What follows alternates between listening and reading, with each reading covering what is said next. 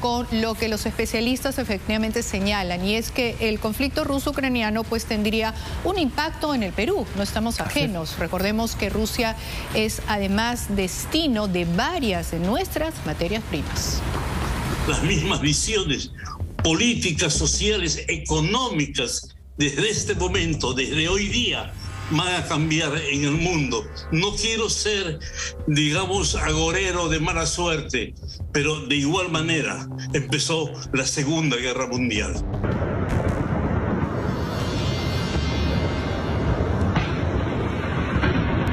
Así lo advirtió el internacionalista Juan Belit. El ataque de Rusia a Ucrania, la guerra desatada entre ambos países, podría cambiar el rumbo económico y social del mundo.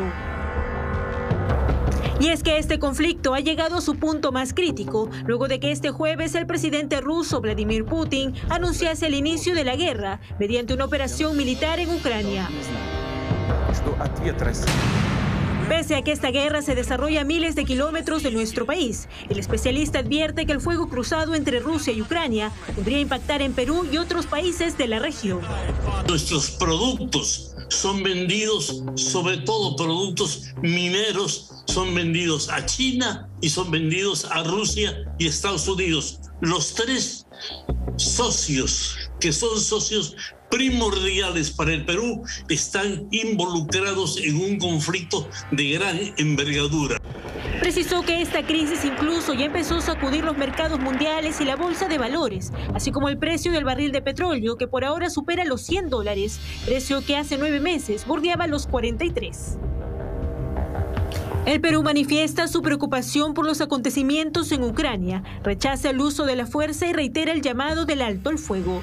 Fue el mensaje que la Cancillería peruana publicó en relación al conflicto, un mensaje que para el encargado de negocios de Ucrania en el Perú no es del todo concreto.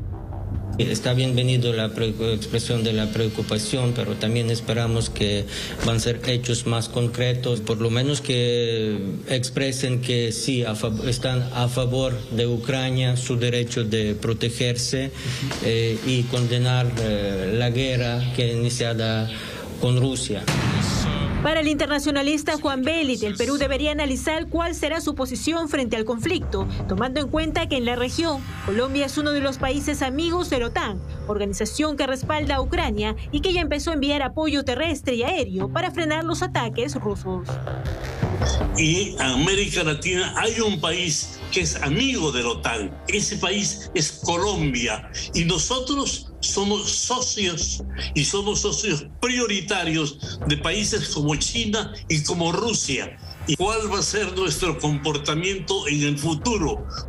Sin duda un conflicto que ha encendido las alarmas en el ámbito diplomático y económico de muchos países que han solicitado el cese al fuego para evitar lo que muchos especialistas advierten, el inicio de una tercera guerra mundial.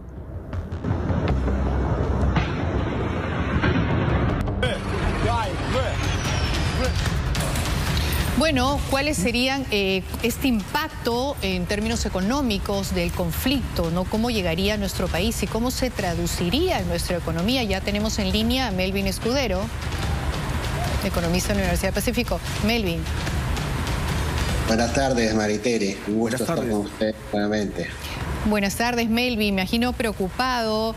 Eh, nos agarra además este conflicto, Melvin, en un momento difícil para las bolsas de valores del mundo. Ha habido esta corrección que se esperaba ya se dio. ¿Qué cosa es una corrección? Y vamos a explicar brevemente en qué momento llega esta guerra, esta posible guerra, este conflicto, no quiero usar la palabra guerra, este conflicto entre Rusia y eh, Ucrania. ¿En qué momento económico exacto le llega al mundo esto?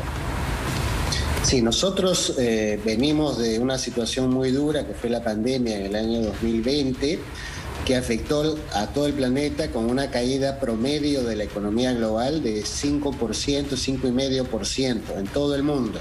En Perú caímos 12, más que el resto, el 2020. El 2021 nos tocó un fuerte rebote gatilado por la vacunación e impulsos fiscales y monetarios sin precedente histórico. Pues la economía mundial el 2021 ha crecido 5,5%, Perú hemos crecido 13%. Entonces una recuperación importante de todo lo perdido en 2020. Y hemos empezado el 2022 con mucho entusiasmo en el sentido de que toda esta recuperación económica se había traducido ya en una genuina recuperación de la demanda, a tal nivel que la inflación que se ha observado en 2021, especialmente en la segunda parte del año, hizo que todos los precios de los alimentos y de los uh, commodities, de las materias primas en general, también aumente. Entonces, la inflación muestra ya una señal de que la economía Melvin, Melvin. Melvin, Melvin, no sé si vas a tener un poquito de tiempo. Estamos con Melvin Escudero, economista de la Universidad del Pacífico. Discúlpenos por la, por la espera, pero el panorama que se le presenta para Rusia sumamente complicado y lógicamente la respuesta de Estados Unidos y de Europa era de esperarse, aplicar sanciones económicas durísimas para Rusia, pero eso de qué manera nos va a perjudicar a nosotros, ¿Qué es lo que, digamos, se pregunta el ciudadano de a pie, ¿no?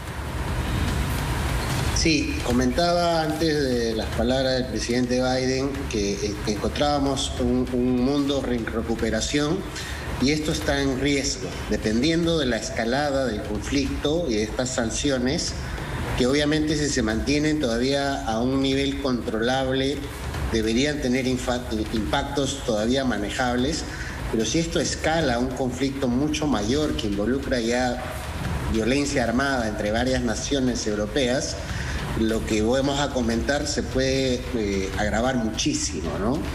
Eh, las sanciones económicas obviamente contra Rusia y contra los ciudadanos rusos y multimillonarios rusos en el resto del mundo eh, van a afectar significativamente el valor de los activos rusos, de la moneda rusa. Es decir, ser considerado realmente un paria internacional como país es una sanción que pocas veces vista si se hace al 100% como lo ha planteado el presidente Biden. Entonces, para los rusos también eh, va a haber muchísimo sufrimiento. Por eso es que hay que ver cómo finalmente termina la negociación en el campo político, en el campo militar, porque la parte económica para Rusia va a ser terrible. ¿no? No, es, no es sencillo, o sea, no solamente es la caída del rublo, la subida de las tasas de interés, la, digamos, las sanciones de exportaciones e importaciones, cortarle el flujo comercial, congelarle las cuentas bancarias, es, es también para Rusia eh, algo muy, muy fuerte negativamente hablando, ¿no? Claro. Pero para el eh, resto del mundo y en particular para Perú, ¿por dónde está el canal? El canal más importante en este momento lo hemos visto ya en, hace unos, digamos, unas horas desde que empezó el conflicto, es el precio de la energía. El precio del petróleo ya superó los 100 dólares, 105 dólares. Estos precios son altísimos. El precio del gas natural, en particular en Europa, el que exporta Rusia, subió 35% solo el día de hoy. En general, el precio del gas natural en lo que vaya del año ha subido aproximadamente, eh, digamos, en la última semana 5%. El precio del petróleo, solo el día de hoy, 5%. O sea, e, son subidas importantes que lo que están haciendo es eh, incrementar, digamos, el precio de las materias primas. Por ejemplo, el oro, la plata, que son refugios en este tipo de situaciones, el día de hoy han subido alrededor del 1% entre ambos, más o menos. Eh, pero podrían subir más si el, conflicto escala, ¿no? El precio del cobre se ha mantenido relativamente estable, pero en lo que va del año, la plata ha subido ya 10%, el oro 7%, el precio del cobre 4%, el precio del plomo 4%, el estaño 4% en lo que va del año, el petróleo en lo que va del año, hasta el, hasta el precio que está actualmente 10%, el gas natural está bastante estable pero en esta última semana ha subido 5% el gas natural. El precio del trigo solo el día de hoy ha subido 6%. ¿Por qué menciono alimentos y petróleo? Porque Perú acaba de terminar el 2021 con una inflación de 6.4. Definitivamente estos incrementos van a hacer que suba la gasolina. En la subida del trigo se reflejan en la subida del pan y la subida de la gasolina en la subida de los fletes. Entonces, las presiones inflacionarias en el Perú se van a sentir los siguientes días al igual que en Estados Unidos y en Europa. Estados Unidos tiene una inflación de 7.5% en este momento y Europa tiene una inflación que cerró el año alrededor del 5%. Entonces, en estas condiciones, eh, lo que dijo el presidente Biden es importante. Se van a liberar reservas, reservas de petróleo para que no impacte en el bolsillo de las personas que le echan gasolina en Estados Unidos. ¿no? Entonces, esto va de alguna manera a controlar el impacto del petróleo, porque el petróleo podría escalar incluso mucho más arriba. Rusia es un gran productor de petróleo también. Uno, de los principales. Ahora, eh, sí, eh, Melvin, importante también porque Rusia es el gran productor de eh, trigo. Nosotros en Perú consumimos mucho trigo, nuestra alimentación está basada mucho en el trigo. Ya subió la soya, ya subió el maíz, ya subió el trigo. Ucrania mismo es un territorio agrícola importante, es decir, abastecen de mucho alimento al mundo entero y eso obviamente va a subirlo todo. Así es, así es, y lamentablemente la inflación es el peor impuesto que se le puede poner a la población de menos recursos. Y ahí el dolor es muchísimo mayor, ¿no? Pero, ¿qué sucede? Estos precios de metales altos, el precio incluso del gas natural, curiosamente en el mediano y largo plazo son favorables para Perú. Porque nosotros somos exportadores de metales, somos exportadores también de gas natural. Entonces, en ese aspecto, Perú también se ve favorecido. Sin embargo, la crisis política actual nos juega en contra, porque ahorita deberíamos estar inundando el país de inversión extranjera, porque tenemos muchos yacimientos disponibles en oro, en plata, en, cobre, en zinc, en estaño, ¿no?